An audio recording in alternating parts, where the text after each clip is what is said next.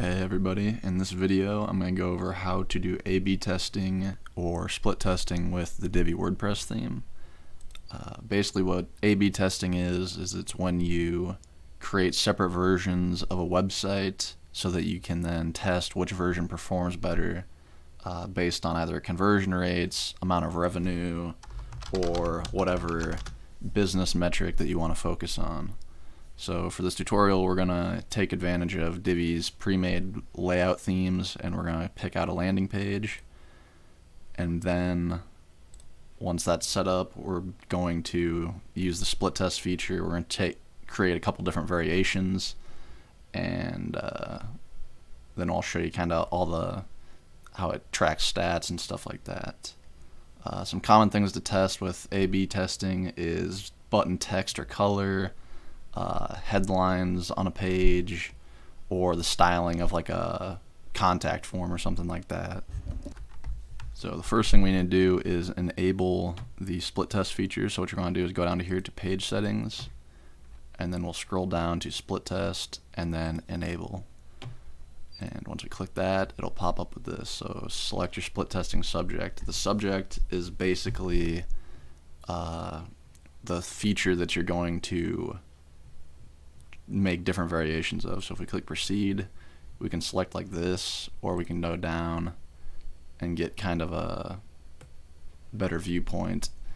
And from here we can select, so for our subject we can we can select an entire section, an entire row, or an individual module. So for this we're just going to select uh, the text module, the header, and then once you've done that it's going to want to select your goal. So this is based on what you want to measure. So for this we're going to want to measure this button because we want them to our goal is maybe to, to direct them to a certain page. So we're going to click this button.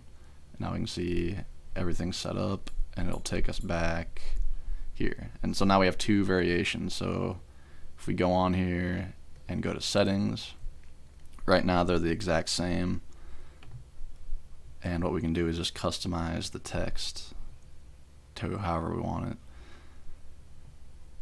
So we'll say we'll change it from all that to just learned code. We'll save that. And you can always you can create more than two. If you click duplicate that'll add a third variation and you can basically do as many as you want. But for now we're just going to stick with two. And now we're going to click save while that's saving, we'll open up in incognito mode. We'll open up this new window and we can see as we refresh the page, we'll be able to see, or we should be able to see at least, those different variations.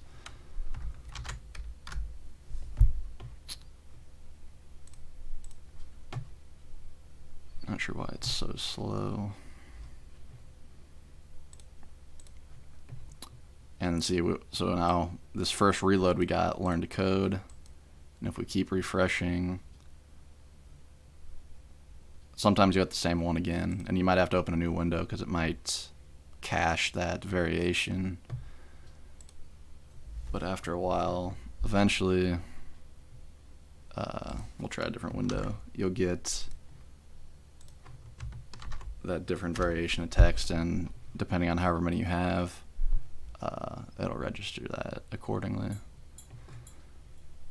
But for now, we're not going to bother with that. If you, once you got that saved, if you click on this little, these bars, you can see that it tracks your different variations. And we can see already it's got one impression registered. Uh, we can look at, we got some images here saved. You can see, so this is a version where they're testing a slider, and uh, if we go back, you can check. It'll track clicks. So if you're clicking on the button it'll regis register that. You'll also be able to check uh, the read-through rate. So if your goal is maybe you want to make sure people are reading a full page you can set the goal as a text uh, a text module at the bottom of the page. So they have to scroll all the way down the page. So that's something you could do. We'll click out. Like if you wanted to make sure they read all the way to the bottom you could go down here and you could set this text module as the goal. So if they scrolled all the way down to this page, that would register as a successful conversion. But going back up here, you can see basically, uh, and this is an example with the reads, and this is an example where you can see you can have a ton of different variations. So once that's done, we'll pretend that uh, we got everything registered, or we get did everything we wanted. Once you click on this, you can end it and choose your variation. So we'll, once it's loaded, we'll do end split test and pick our winner. We'll say it'll want us to pick our variation. So then we can pick, uh, depending, if we had the stats, it would show right here which percentage, which converted better, but we'll say the second variation converted a higher rate. So we'll pick that, and it gets rid of that extra, it automatically gets rid of the extra version, and then you can just click save again. And basically, uh, if we go back to our page, uh, we will no longer get those extra variations, and it'll just set that one. So before I wrap up, I will go over some of the additional features. Uh, one thing that's pretty cool is once we enable this, you can see uh, the short code tracking. So if you click this, it'll give you this little code here. And this is good for like e-commerce if you uh, want people to make a purchase and you want to track those, you can then redirect after the purchase you can redirect to a page and if you paste this code on that final sales page it'll automatically register that as a conversion and you could do this for really anything else if you want to track instead of a button click you just want them to go to a certain page you can do this too so whatever page you put this on when people visit it it'll register as a successful conversion uh, one thing also, for this we just did the one module. If you did the entire section, uh, you can then change, it'll copy the whole section and then you could change multiple things inside of it. So if you wanted to do, instead of the single headline like we changed, you could go in and change multiple things in this entire section. So you could change the button font, the button color, in addition to the header font and the image, and you could see which entire section performed better. So that's uh, a more advanced use case. Here you have how to register bounce rate. If you're not familiar with that, bounce rate is basically when somebody comes to your website or a page on your website and then leaves immediately. So what this is is this is seconds. So if somebody comes to your website and then leaves within five seconds, it'll register as a bounce, and you can increase that to whatever your standard is. Uh, I'd probably just leave it at five, but uh, that's another little feature there.